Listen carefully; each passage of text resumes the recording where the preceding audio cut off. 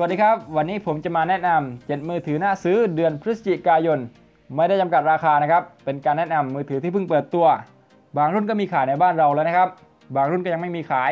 เรามาดูกันเลยว่ามีรุ่นไหนกันบ้าง รุ่นแรกนะครับ Huawei Mate 10 และ Mate 10 Pro 2 ตัวนี้ก็เป็นมือถือเรือธงจากค่าย Huawei ที่ใช้กล้องไลกานะครับ แล้วก็ยังมาพร้อมระบบ AI ที่ช่วยในการประมวลผล และยังเป็นสมาร์ทโฟนรุ่นแรกที่รองรับการใช้งาน 4G LTE ทั้ง2ซิมการ์ดด้วย ในส่วนของสเปคนะครับ จะแตกต่างในเรื่องของหน้าจอแสดงผล ROM และ RAM Huawei Mate 10 จะใช้หน้าจอ IPS ขนาด 5.9 นิ้ว ความละเอียด 2K อัตราส่วน 16 ต่อ 9 นะครับ ส่วน Mate 10 Pro จะใช้หน้าจอ OLED ขนาด 6 นิ้ว ความละเอียด Full HD Plus อัตราส่วน 18 ต่อ 9 มาพร้อมชิปเซ็ต Kirin 970 Octa Core ความเร็ว 2.36 GHz นะครับ RAM Mate 10 ให้มา 4 g b ส่วน Mate 10 Pro 6 g b ROM Mate 10 64 Mate 10 Pro 128 g b และรองรับ Micro SD card มาพร้อม Android 8.0 Oreo ตั้งแต่แกะกล่อง สามารถใช้งาน2ซิมการ์ดนะครับ มีเซ็นเซอร์สแกนลายนิ้วมือ ตัวเครื่องกันน้ำนะครับ Mate 10จะกันน้ำแค่ละอองน้ำนะครับ ส่วน Mate 10 Pro จะกันน้ำ IP67 สามารถจุ่มลงน้ำได้เลย มีอินฟราเรดนะครับบลูทูธ4.2 NFC พอร์ตการเชื่อมต่อ USB Type C Mate 10 Pro จะไม่มีช่องหูฟัง 3.5 มิล ส่วน Mate 10 จะมีช่องหูฟัง 3.5 มิล มาพร้อมกล้องหลังคู่จาก Leica 20บวก12 ล้านพิกเซล f 1.6 พร้อมไฟแฟลชคู่ แล้วก็มี OIS ด้วย ส่วนกล้องหน้าให้มา 8 ล้านพิกเซล f 2.0 แบตเตอรี่ 4,000 มิลลิแอมทั้ง 2 รุ่น พร้อมเทคโนโลยีชาร์จเร็วนะครับสำหรับราคาเปิดตัว Huawei Mate 10 Pro เริ่มเปิดสั่งจองในบ้านเรา 18-26 พฤศจิกายนนี้นะครับ ในราคา 27,900 บาท ส่วน Mate 10ธรรมดา ตอนนี้ยังไม่มีราคาเปิดตัวในบ้านเรานะครับ แล้วก็ยังไม่มีการนำเข้าในบ้านเราด้วย ราคาเปิดตัวต่างประเทศนะครับ 699 ยูโร หรือประมาณ 27,000 บาท ถ้าเข้าในบ้านเราก็อาจจะถูกกว่านี้ประมาณ 2-3พันนะครับ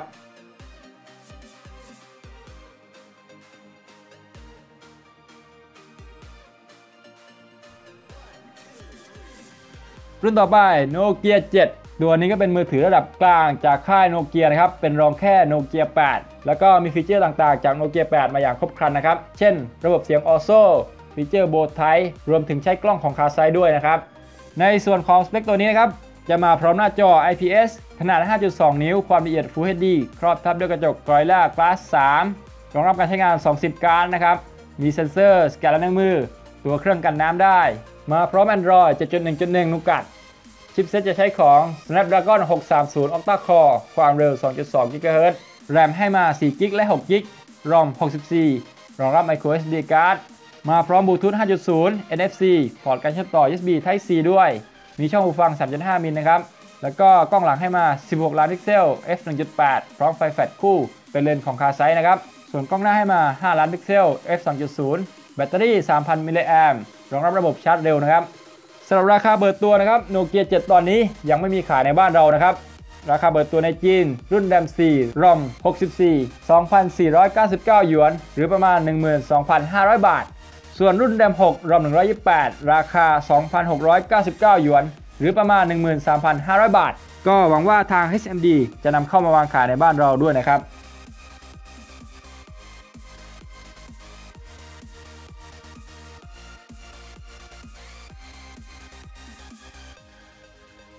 รุ่นต่อไปนะครับ Nubia Z17s ตัวนี้ก็เป็นสมาร์ทโฟนเรือธงของค่าย Nubia นะครับ เป็นรุ่นที่อัปเกรดจาก Nubia Z17 Z17 ก็ยังไม่ขายในบ้านเรานะครับ ก็เปิดตัวรุ่นใหม่แล้ว ตัวนี้ก็มาพร้อมจุดเด่นในเรื่องของกล้องนะครับ ที่มาพร้อมกล้องคู่ 4 ตัว แล้วก็ยังใช้หน้าจออัตราส่วน 18 ต่อ 9 ด้วยนะครับ ในส่วนของสเปคก็มาพร้อมหน้าจอ IPS ขนาด 5.73 นิ้ว ความละเอียด Full HD อัตราส่วน 18 ต่อ 9 ครอบทับด้วยกระจก Gorilla Glass มีเซ็นเซอร์สแกนลายนิ้วมือ มาพร้อม Android 7.1นุกัดชิปเซตใช้ของ Snapdragon 835 Octa Core ความเร็ว 2.45 GHz RAM ให้มา 6 g b และ 8 g b ROM 64 และ 128 g b รองรับ Micro SD card สามารถใช้งาน 2 ซิมการ์ดพร้อมกันนะครับ มีอินฟราเรดบลูทูธ4.1 NFC พอร์ตการเชื่อมต่อก็เป็น USB Type C ด้วย มาพร้อมกล้องหลังคู่ 12 บวก 23 ล้านพิกเซล f 1.8 พร้อมไฟแฟลชคู่ ส่วนกล้องหน้าก็เป็นกล้องคู่ด้วยนะครับ 5 ล้านบวก 5 ล้านพิกเซล f f 2.2 มาพร้อมระบบเสียง DTS แบตเตอรี่ให้มา 3,100 มิลลิแอมพร้อมเทคโนโลยีชาร์จเร็วนะครับ ตอนนี้ Nubia 17S ก็ยังไม่ขายในบ้านเรานะครับ ราคาเปิดตัวที่จีน รุ่นแรม6 ROM 64 2,999 หยวน หรือประมาณ 15,000 บาท ส่วนรุ่นแรม8 ROM 128 ราคา 3,999 หยวน หรือประมาณ 20,000 บาท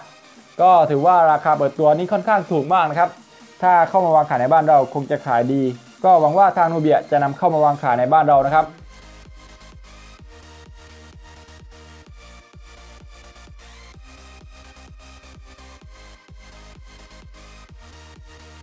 รุ่นต่อไป Google Pixel 2 และ 2 XL 2 ตัวนี้ก็เป็นมือถือเรือธงจากค่าย Google นะครับ เป็นมือถือเพียว Android ที่มีการปรับแต่งเล็กน้อยนะครับ แล้วก็สามารถอัปเดต Android เวอร์ชันใหม่ก่อนใครนะครับ ในส่วนของสเปคนะครับ Pixel 2 และ 2 XL จะแตกต่างกันที่หน้าจอแสดงผลนะครับ Pixel 2 จะใช้หน้าจอ AMOLED ขนาด 5 นิ้ว ความละเอียด Full HD นะครับ อัตราส่วน 16 ต่อ 9 ครอบทับด้วยกระจก Gorilla Glass 5 ส่วน Pixel 2 จะใช้หน้าจอ POLED นะครับ ขนาด 6 นิ้ว ความละเอียด 2K อัตราส่วน 18 ต่อ 9 นะครับ ครอบทับด้วยกระจก Gorilla Glass 5 แต่ว่าตอนนี้มีข่าวว่า Pixel 2 มีปัญหาเรื่องของหน้าจอแสดงผลนะครับ เพราะว่าใช้แผงหน้าจอแบบใหม่นะครับ อันนี้ก็ลองไปพิจารณาดูนะครับ มีเซ็นเซอร์สแกนลายนิ้วมือนะครับ ตัวเครื่องกันน้ำ มาพร้อม Android 8.0 Oreo ตั้งแต่แกะกล่อง แล้วก็สามารถอัพ Android ใหม่ได้ก่อนใครนะครับชิปเซตจะใช้ของ Snapdragon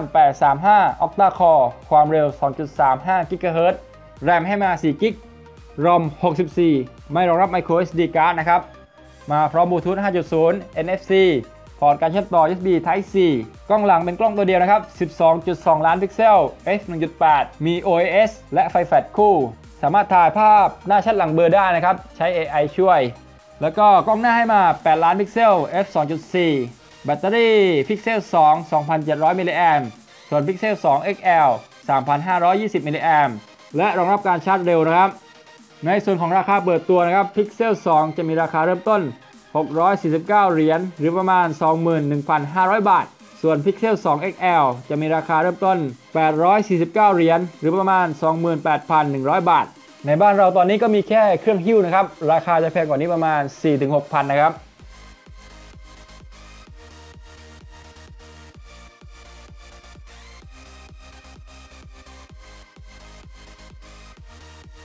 รุ่นต่อไป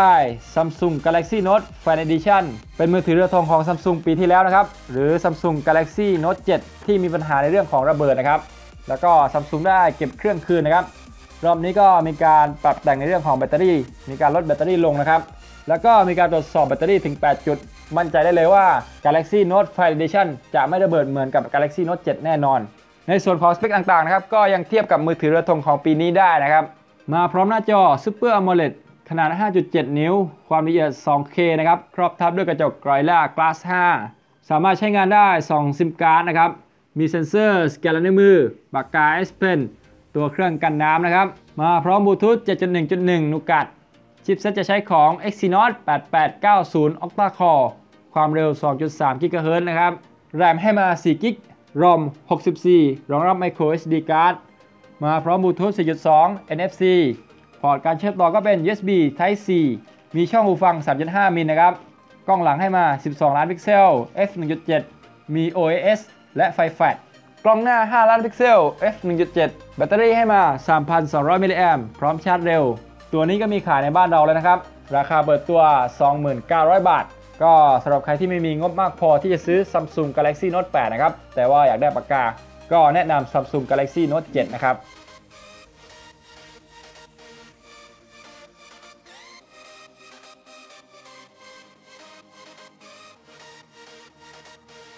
รุ่นต่อไป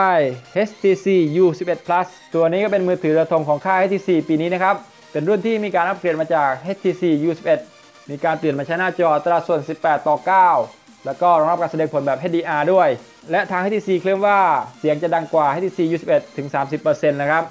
ในส่วนของสเปคก็มาพร้อมหน้าจอ Super LCD ขนาด 6 นิ้ว ความละเอียด 2K Plus อัตราส่วน 18 ต่อ 9 นะครับ ครอบทับด้วยกระจก Gorilla Glass 5 มีเซ็นเซอร์สแกนลายนิ้วมือ ตัวเครื่องกันน้ำ มาพร้อม Android 8.0 Oreo ตั้งแต่แกะกล่อง ชิปเซ็ตจะใช้ของ Snapdragon 835 ความเร็ว 2.45 GHz นะครับ แรมให้มา 4 g b ROM 64 g b รองรับ Micro SD card มาพร้อมบลูทูธ 5.0 NFC พอร์ตการเชื่อมต่อ USB Type C กล้องหลัง 12 ล้านพิกเซลนะครับ f 1.7 มี OIS พร้อมไฟแฟลชคู่ กล้องหน้าให้มา 8 ล้านพิกเซล f 2.0 แบตเตอรี่ตัวนี้ให้มา 3,930 มิลลิแอมก็เพียงพอสำหรับการใช้งาน 1 วันสบายๆเลยนะครับ แล้วก็รองรับชาร์จเร็วด้วย รุ่นนี้ก็ยังไม่มีขายในบ้านเรานะครับ ราคาเปิดตัวในยุโรปนะครับ 799 ยูโร หรือประมาณ 3,800 บาท ก็ถือว่าค่อนข้างสูงนะครับ ถ้าเข้าในบ้านเราก็อาจจะถูกกว่านี้เล็กน้อย ก็ต้องคอยติดตามกันต่อไปนะครับว่าทาง HTC จะนำเข้ามาวางขายในบ้านเราด้วยหรือไม่ ผมคิดว่า มีโอกาสเป็นไปได้สูงครับที่ทาง HTC จะเข้ามาวางขายในบ้านเราด้วย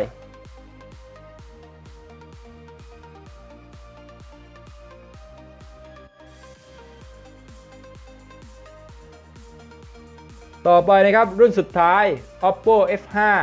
ตัวนี้ก็เป็นมือถือระดับกลางของทาง Oppo นะครับที่มาพร้อมหน้าจออัตราส่วน 18 ต่อ 9 Full Display นะครับ เป็นมือถือราคาประหยัด ในส่วนของสเปคก็มาพร้อมหน้าจอ IPS ขนาด 6 นิ้ว ความละเอียด Full HD Plus ครอบทับด้วยกระจก Gorilla Glass 5 สามารถใช้งานได้2ซิมการ์ดนะครับ มีเซ็นเซอร์สแกนลายนิ้วมือ มาพร้อม Color OS 3.2 บนพื้นฐาน Android 7.1 Nougat นะครับ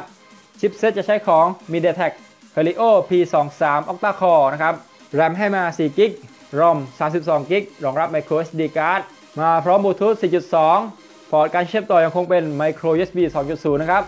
มีช่องหูฟัง 3.5 มิล แล้วก็กล้องหลังให้มา 16 ล้านพิกเซล f 1.8 พร้อมไฟแฟลชกล้องหน้า 20 ล้านพิกเซล f 2.0 แบตเตอรี่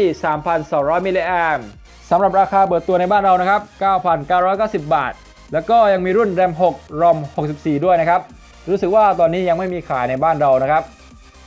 ครับก็จบกันไปแล้วนะครับสำหรับ7มือถือหน่าซื้อเดือนพฤศจิกายนสำหรับใครที่ชอบก็อย่าลืมกดไลค์กดแชร์กด Subscribe ด้วยนะครับ สวัสดีครับ